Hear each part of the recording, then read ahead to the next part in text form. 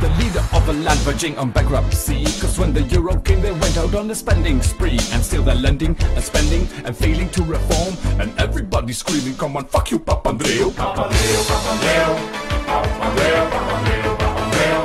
Papandreou Fuck you, Papandreou European leaders made a plan to save his ass up didn't give a shit and then he said I'm gonna hold a referendum about this deal of yours. And then the leaders of the Eurozone said fuck you Papandreou Papandreou, Papandreou Papandreou, Papandreou, Papandreou Papandreou, Papandreou, Papandreou Fuck you Papandreou